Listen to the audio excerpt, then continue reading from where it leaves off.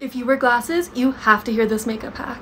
Instead of blending, all you have to do is just take off your glasses and take a step back and bam, you're blended to perfection. Follow us for more glasses tips.